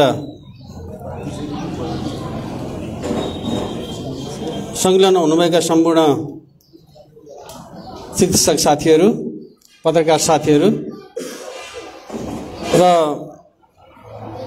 यस्तो कार्यक्रममा हाम्रो पनि भूमिका अहम हुन्छ भन्दै यो धार्मिक संस्था हरिहर मन्दिरको व्यवस्थापन समितिका आदरणीय व्यक्तित्वहरू र सबै सबैप्रति अभिवादन नमस्कार व्यक्त गर्न चाहन्छु। र यो कार्यक्रम आयोजक साथीहरूले रोचकै बनाउनु भएको छ। यो त्रिवेणी सङ्गम जस्तो पनि लाग्यो मलाई। अब स्वस्तिक वाचन पनि हामीले गऱ्यौँ। आधुनिक चिकित्सा पद्धतिलाई कसरी व्यवस्थित गर्ने भन्ने बारेमा हाम्रो ध्यान केन्द्रित छ। सुरुवात स्वस्तिक पाचन गरेर गऱ्यौँ। यो चिकित्सा पद्धति विज्ञानसँग सम्बन्धित। र यस्तो ठाउँमा चाहिँ कविताको माध्यमद्वारा र यसलाई आफ्नो भावना पोख्नु भने उहाँ सबै सबैलाई चाहिँ नै धन्यवाद दिँदै यसरी यसलाई सबैको सङ्गमको थलो बनाउनु भएकामा म त्यो परिवेश सिर्जना गर्नुभएको सबैलाई म धन्यवाद दिन चाहन्छु। म यो क्षेत्रको मान्छे पनि होइन मलाई यसबारेमा त्यति धेरै थाहा छैन। त्यसो भएको हुनाले मैले यसबारेमा अत्यन्तै कम ज्ञान भएको हुनाले म संक्षिप्तमा केही कुराहरू राख्ने अनुमति चाहन्छु। मानसिक समस्याका परिभाषाहरू धेरै छन्। यसका अनेकौँ भाषाहरू हुन सक्छन्। खास गरी अत्यन्तै असन्तुलित भएको हाम्रो सा सामाजिक व्यवहारभन्दा पृथक ढङ्गले चल्ने पृथक व्यवहार देखाउने लाई हामी मानसिक समस्याको रूपमा हामीले लिने गर्छौँ। तर कहिलेकाहीँ कस्तो हुन्छ भनेदेखि चाहिँ फेरि मैले यसो भनिरहँदाखेरि यो धर्मप्रतिको अनास्था जाग्ने कामले गर्यो भन्ने हिसाबले पनि तपाईँले बुझिदिनु हुँदैन भन्ने कुरा पनि म राख्न चाहन्छु। अब गाँजा भाङ धत्रो खाने चिसो ढुङ्गामा सुत्ने तातो ढुङ्गामा पनि सुत्ने कपाल कहिले नकाट्ने नकोर्ने नुहाउनु पनि नपर्ने खरानी दसरा हिँड्ने शिवजीलाई त्यो त सामाजिक क्षेत्रभन्दा भिन्न प्रकृतिको हो नि। तर हामीले उहाँलाई माया गर्ने र हामीले उहाँ गर्ने भएको हुनाले हामीले उहाँलाई भगवान् मानेका छौँ। त्यो संस्कृतिबाट हामी हुर्केको। आफूले माया गरेको चिज चाहिँ सामाजिक व्यवहारभन्दा पृथक भयो भने पनि त्यसलाई मान्ने माया गर्ने आस्थामा राख्ने। तर त्यो चिज चाहिँ आफ्नो मायाभित्र परेन भने त्यसलाई चाहिँ दुत्कार्ने यो चलन पनि हामीमा छ। र हामीले त्यसो भएको हुनाले यसलाई हामीले यसलाई कसरी बुझ्ने भन्ने बारेमा एउटा समस्या त छँदैछ। दोस्रो कुरा चाहिँ खास गरी अहिलेको आधुनिक जमानामा खास गरी अहिले हामी बोलीचालीको भाषामा जो तनाव भन्छौँ तनावका कारणले हरेक किसिमका तनाव हुन्छन्। त्यसको व्यवस्थापन नगर्दाखेरि त्यो परिष्कृत हुँदै अगाडि बढ्दै जाँदाखेरि यो यसले विकराल रूप लिएको लिन सक्ने त्यो अवस्था हामी देख्छौँ। र अहिले पछिल्लो दुनियाँमा पछिल्लो समयमा समाजमा चाहिँ खास गरी छोराछोरीहरूले चाहिँ आफ्नो चाहना आफ्नो अभिभावकसँग राख्दाखेरि त्यो पुरा नहुँदा आत्महत्या गरेको घटना धेरै हामी पाउँछौँ। आफूले माया गरेको चिज चाहिँ प्राप्त नहुँदाखेरि आत्महत्या गरेको चिज पाउँछौँ। र त्योभन्दा अझै अगाडि बढ्दाखेरि साँच्चै सामाजिक हिसाबले हरेक सबै हिसाबले पृथक पहिचान बनाएर पृथक ढङ्गले चलखेल गर्न थालेपछि पागल बौला के भन्ने हो हामी त्यो त्यो भन्ने दिशातिर हामी पुग्छौँ। तर हाम्रो समाजले यसलाई कसरी हेरिरहेको छ भने अहिले साथीहरूले भन्नुभएको छ आफ्नो राख्ने क्रममा कि त्यस्तो समस्या देखियो भनेदेखि त्यो समस्यालाई बाहिर सामाजिक रूपले उदाङ्ग पार्ने काम अथवा भन्ने काम उपचार गराउन लैजाने काम पनि त्यो परिवारले सकेसम्म टरोस गर्दैन। किनकि सामाजिक मर्यादामा आफ्नो पारिवारिक मर्यादामा चाहिँ आज आउँछ भन्ने कुरो बुझाइ अहिलेसम्म पनि हाम्रो समाजमा छ। त्यसो भएको हुनाले यसलाई यो समस्यालाई हामीले सबभन्दा पहिले उज्रा गर्नलाई यसको लागि चाहिँ हरेक क्षेत्र हर क्षेत्रमा यो कामलाई चाहिँ हामीले चाहिँ अगाडि बढाउनु पर्छ भन्ने कुरा म राख्न चाहन्छु। यो काम पनि होस् भन्ने कुरा म राख्न चाहन्छु। दोस्रो कुरा खास गरी एउटा विदेशमा रहेर उच्च शिक्षा हासिल गरेर यो दिशामा यो विज्ञ बनेर यहाँले विदेशमा जे सिक्नुभयो जे हासिल गर्नुभयो जे जान्नुभयो अब हाम्रो भूमिका चाहिँ विदेशमा मात्रै होइन। स्वदेशमा पनि रहनुपर्छ र हाम्रो सामाजिक जीवनलाई चाहिँ परिष्कृत बनाउँदै लैजानुपर्छ। र हाम्रो मुलुकलाई चाहिँ एउटा समुद्र समाज निर्माण गर्नुपर्छ भनेर चाहिँ तपाईँहरू जो आउनुभएको छ। यसको लागि म तपाईँहरूलाई धन्यवाद र बधाई दिन चाहन्छु। तर आजका दिनसम्म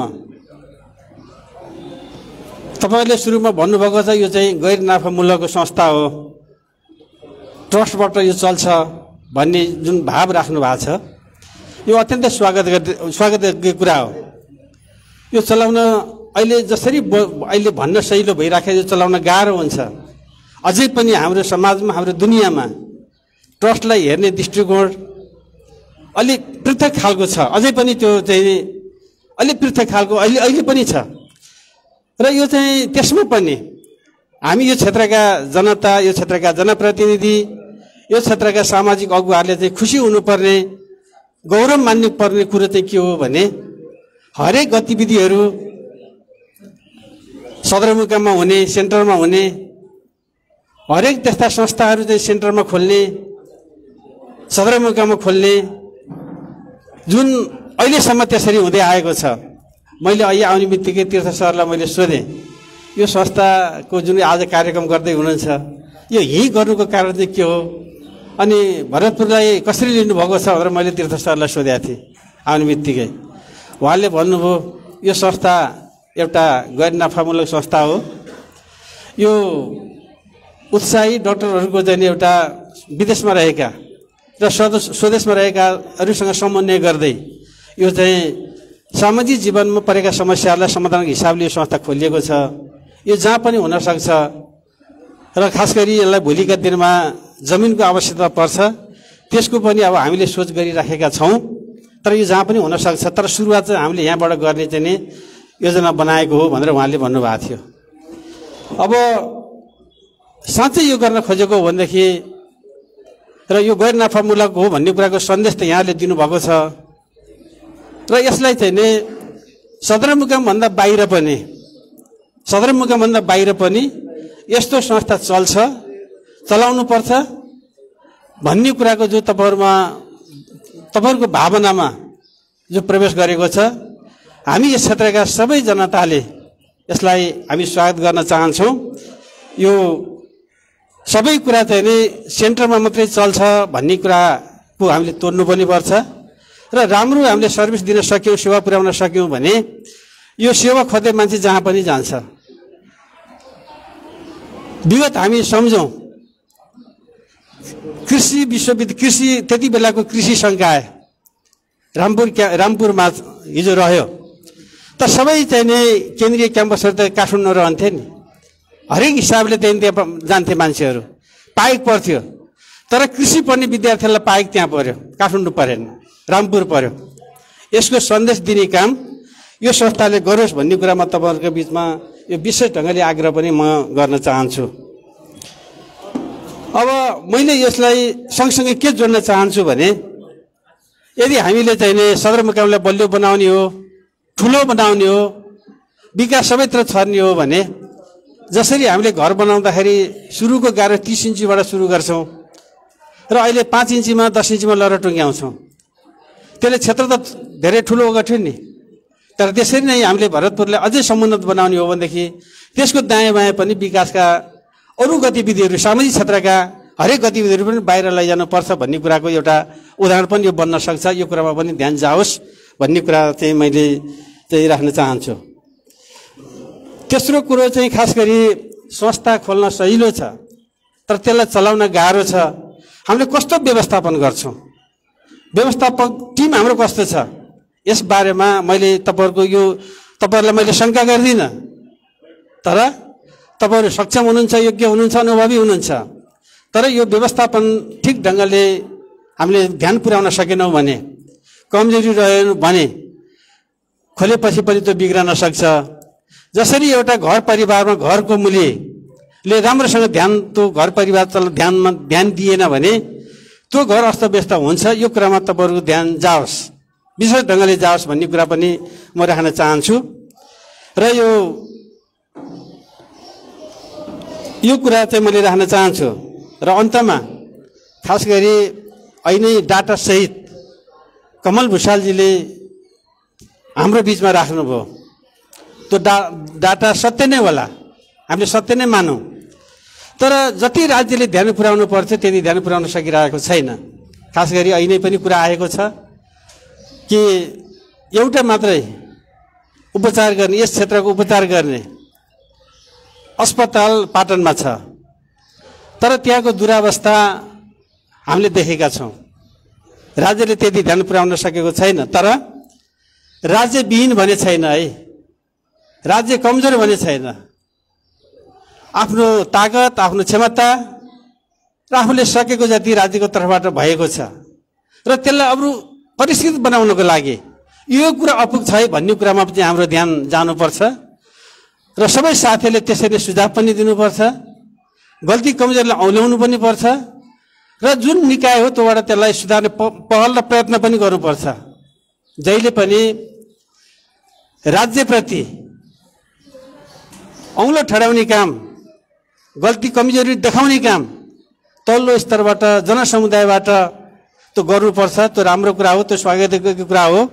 त्यसो भएको हुनाले मैले यो कुरा राख्दै आज तपाईँहरूले क्लिनिकल टेस्ट पनि चिकित्सा सेवा पनि यही क्षेत्रबाट आजबाट गर्ने जुन शुभारम्भ गर्नुभएको छ र यसले निरन्तरता पाओस् र यो क्षेत्रका जनताले सामाजिक अगुवाहरूले गर्नुपर्ने भूमिका त्यो हुन्छ र राजनीतिक नेतृत्वको हिसाबले एउटा जनप्रतिनिधिको हिसाबले हामीले गर्नुपर्ने भूमिका पनि हामीले गर्नुपर्ने सहयोग त्यो पुरापुर भरपुर सहयोग तपाईँहरूले पाउनुहुनेछ।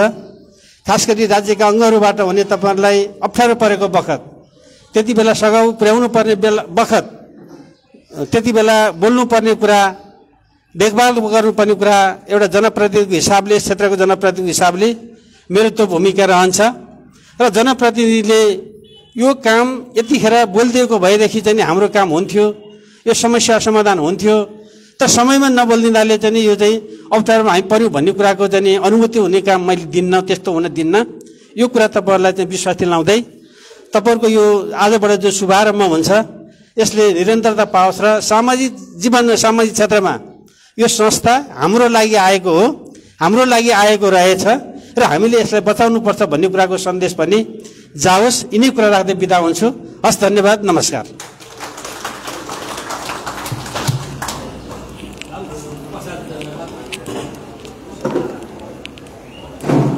धन्यवाद माननीय कृष्ण खनालज्यू।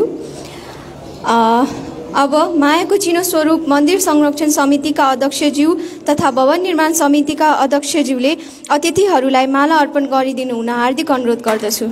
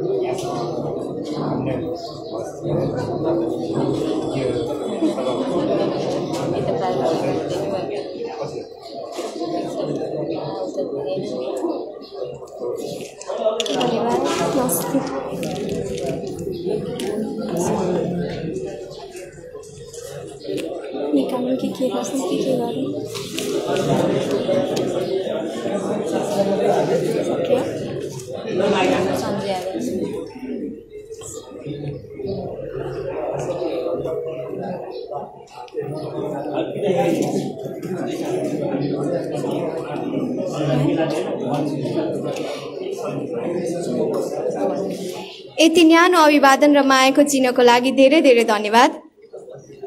अब हामी कार्यक्रमको अन्ततिर आइसकेका छौँ।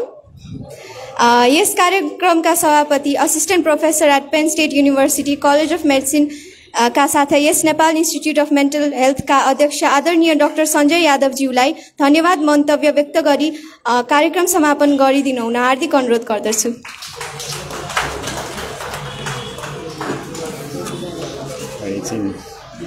हजुर धन्यवाद सिल्भिया अनि स्वीकृति यति राम्रोसँग कार्यक्रम सञ्चालन गरिराख्नु भएकोमा। आदरणीय प्रमुख अतिथिज्यू माननीय मन्त्रीज्यू अनि सम्पूर्ण यहाँ आमन्त्रित अतिथिहरू अनि त्यस त्यस लगायत चाहिँ अब सबभन्दा सबभन्दा इम्पोर्टेन्ट मानेको चाहिँ यहाँ अहिले पढाइ गर्नुहुने अनि यही समाजमा सबै बसिरहेका महानुभावहरू अनि अघि एकदमै सुमधुर भावमा जुन हाम्रो यहाँ स्कुलका विद्यार्थीहरूले जुन श्रुति गान गाए त्यो त्यसमा म एकदम नतमस्तक छु। अहिले देखिरहेको छैन उहाँहरूलाई। तर म सबभन्दा ठुलो कुरा त एकदम भारी महसुस गरिरहेको छु। यत्रो माया अनि यो सद्भावमा तपाईँहरू सबैजना मिलेर आज यो कार्यक्रममा आएर यस- यसलाई चाहिँ अब यो थालनीमा जुन सहयोग मद्दत गरिराख्नु भएको छ। फर्केर हेर्दाखेरि मलाई अझ पनि यसको आधार बनाउने हिसाबले मलाई निराजनजीलाई सबभन्दा धन्यवाद दिन चाहन्छु। उहाँले नै यो समाजमा हामीलाई जोड्न सहयोग गर्नुभयो। अनि अब अहिले मैले देखिरहेको छु यहाँ भवन निर्माण समिति हाम्रो हरिहर मन्दिरको परिसरमा हामीले यो कार्यक्रम गर्न पाएकोमा चाहिँ हरिहर मन्दिर समितिका सबै सदस्यहरू। यस क्षेत्रमा कार्यरत मानसिक स्वास्थ्य स- अ, मा अनि मनोसामाजिक स्वास्थ्यमा कार्यरत सबै कार्यक्रम गर्ने जस्तो प्राइम नेपाल अनि अन्य अहिले अब डाक्टर वन्दनाको जुन कार्यक्रम जुन हामीले सुन्यौँ ती ती सबको साथबाट नै हामी अगाडि बढ्न सक्छौँ। विशेष गरेर यहाँ रत्न रत्नगर नगरपा नगरपालिकाको कार्यालयको सपोर्ट अनि अनि आज अब यही वार्डमा वार्डलाई रिप्रेजेन्ट गरेर आउनुभएको। अनि एकदमै आफूले आफूले भोगेका समस्याहरूलाई यसरी खुलेर अगाडि ब अगाडि बढेर अरूलाई पनि खुलेर यो कुरा गर्नलाई जुन प्रोत्साहन दिनुभयो त्यसको लागि पनि म एकदम एक- नतमस्तक छु। अब यो मानसिक स्वास्थ्य अ, को कुराहरू चाहिँ अब हामीले हेर्दाखेरि एकदमै ठुलो बहुआयामिक हिसाबले हेर्न सक्छौँ। सरस्वती हेर्दाखेरि चाहिँ मानसिक स्वास्थ्यको कुन कालखण्डमा छौँ भन्दाखेरि अझ पनि हामी अन्धकार कालबाट बल्ल बल्ल निक्लिन सकिरहेछौँ। यसमा जुन अहिले प्रकाशको जुन छिड अहिले जुन अलिअलि मात्र जुन देख्न सकेका छौँ यो सबै तपाईँहरूको साथले अझ बढी यसमा यो बल्ल बल्ल मात्र प्रकाशित हुन हुन पाइरहेको छ। नेपालकै परिप्रेक्ष्यमा भन्ने हो भने चाहिँ यो विगत एक दशकमा थुप्रै नीतिहरू अनि विशेष गरेर प्राथमिक सेवा केन्द्रमा चाहिँ मानसिक स्वास्थ्यलाई चाहिँ एकीकरण गर्ने थोरै थोरै कामहरू भएका छन्। अब प्राइम नेपालको ठुलो इक्जाम्पल हामीले सुन्यौँ। अनि यो चाहिँ सामुदायिक लेभलमा यसको यसको जुन एकदमै बहुत खाँचो छ त्यसको पनि एउटा पाटो हामीले अब विस्तार गर्ने भन्ने हिसाबले हामीले सोचिरहेछौँ। अघि डक्टर श्रीधरले हाम्रो छवटा आधार स्तम्भको कुराहरू गर्नु नै भएन। त्यो चाहिँ अलि लामो समयको योजनामा छ नै तर यहाँनिर अब आज हामीले जुन यो टाढीमा यो एकीकृत मानसिक स्वास्थ्य केन्द्र सुरुवात गरेर एउटा बिजारोपण गरिरहेका छौँ। यो अहिले चुनौतीहरूको तपाईँहरू सबैबाट अलिअलि सुन्यो पनि। अनि यो साथसाथै मैले यो पनि महसुस गरेको छु कि तपाईँले यही कुराहरू भन्दा भन्दै धेरै समाधानको कुराहरू पनि भन्नुभयो। त्यही भएर म यही देखिरहेको छु कि यहाँ अब आफूले मनबाट साँचेर तपाईँले सहयोग गर्न खोजिराख्नु भएको छ। यसमा तपाईँले मार्गदर्शन पनि गर्नुहुन्छ। यो एकजनाले बनेर या एक किसिमको डाक्टरले या मनो सामाजिक परामर्शकर्ताले या मनोवैज्ञानिकले या एउटा सोसियल वर्करले या यो जनस्वास्थ्य कार्यकर्ताले गरेर मात्र हुने काम होइन। हामीले देखेका छौँ कि यस्तो यो विशेष गरेर प्रोफेसनलहरूले गरेर यो साध्य লাগিने कुरा होइन।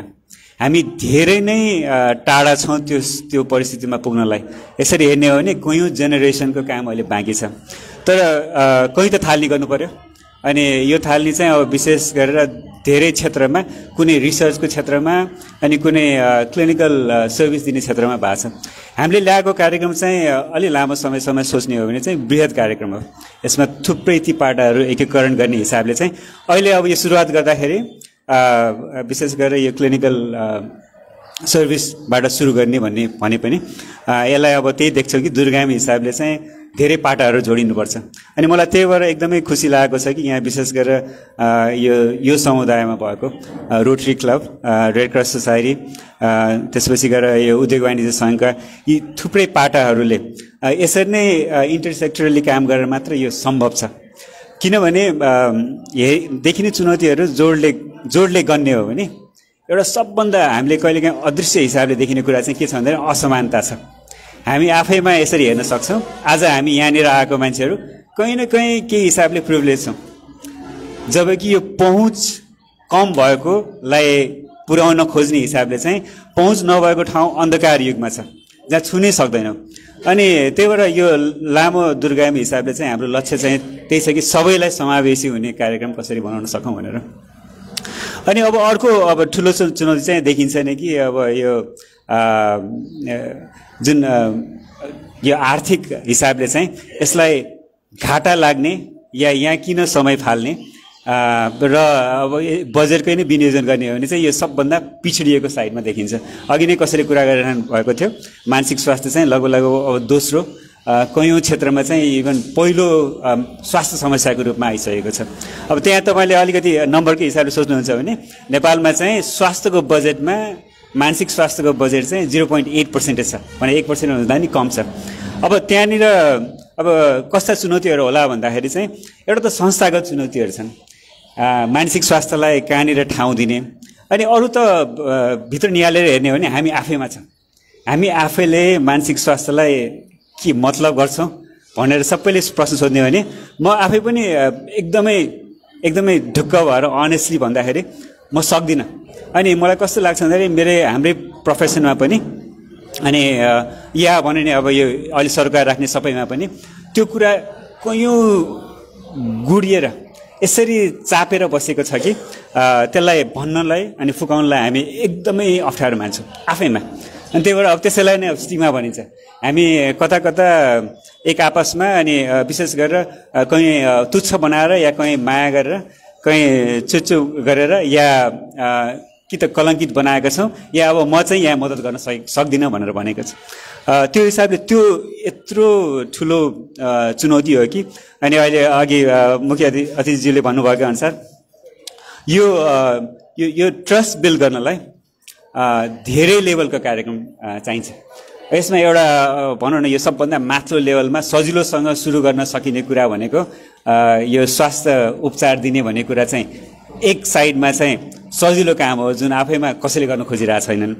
तर त्यसलाई त्यहाँसम्म पुर्याउनलाई हामी आफैले निहाल्ने या अब भन्ने हो भने घरबाट सुरु गर्ने या अब स्कुलमा गएर मानसिक स्वास्थ्यको यो प्रतिरोधात्मकदेखि लिएर यसलाई पुनः यो यसलाई चाहिँ प्रमोट कसरी गर्ने भन्ने कामहरू चाहिँ कैयौँ गुणा हामीले कैयौँ अ, गर्नु बाँकी छ। अनि अनि त्य- त्यसबाहेक अब यो मानसिक स्वास्थ्यमा गर्ने काम गर्ने सबैजना मान्छेहरूलाई चाहिँ एउटा अर्कै नजरले हेरिने भन्ने पनि हुन्छ।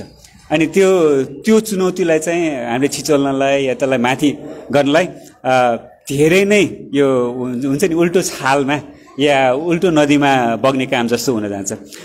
त्यही भएर त्यो साधुलाई बनाउन जोड्न यस्तो प्रोग्रेसिभ भाव भएको यस्तो हामीलाई आत्मसात गर्नुभएको सबैमा म आभार प्रकट गर्छु। यो सजिलो कुरा होइन। तपाईँले आज गरेर देखाउनु भएको कुरा चाहिँ जुन मेरो प्रश्न छ के हामी मतलब गर्छौँ? यहीँबाट सुरु हुन्छ। तपाईँले मतलब गरिराख्नु भएको छ त्यही भएर यहाँ आउनुभएको छ। र यो काम चाहिँ जसरी हामी सामूहिक आयु अभिभावकको हिसाबले लिनुपर्छ अनि त्यसपछि नि हामीले जुन पाटो राख्छौँ त्यहाँ मात्र सम्भव छ। त्यही भएर यो कति कुराहरू चाहिँ हामीले सजिलोबाट सुरु गर्ने कुरा चाहिँ अब एक हिसाबले पहिल्यैदेखि गाह्रो भएकै छन्। कति कुरा छुनै नसकिने छ। अनि त्यसमा चाहिँ हामीले यो वृहत कार्यक्रमका थुप्रै पाटाहरू जोड्न बाँकी नै छ। अब यो एउटा विचार गर्नुपर्ने कुरा चाहिँ अघि पनि जसरी भन्यो नि हामीले यो अदृश्य छ। यो देखिँदैन। हामी भन्न चाहँदैनौँ। यो कुरा गर्दैनौँ।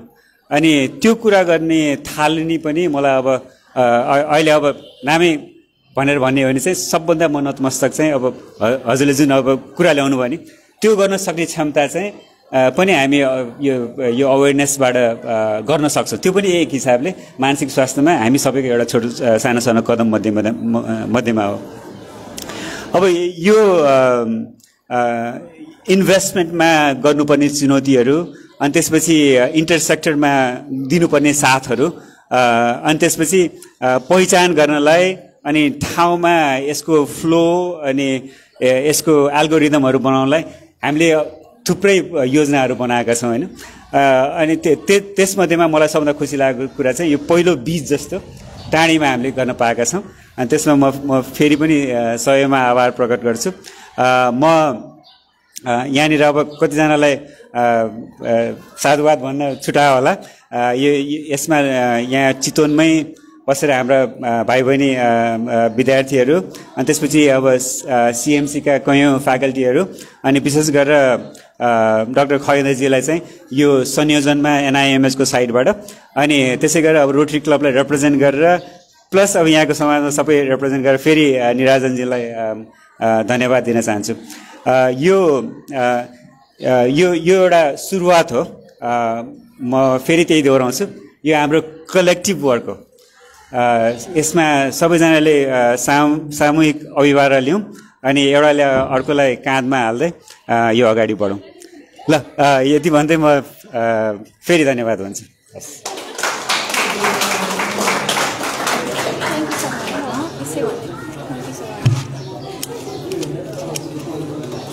धन्यवाद सर। सबैजना उपस्थित सम्मानित व्यक्तिहरू यस कार्यक्रममा थालनी हुँदा शुभकामना व्यक्त गर्नुभएकोमा धेरै धेरै धन्यवाद।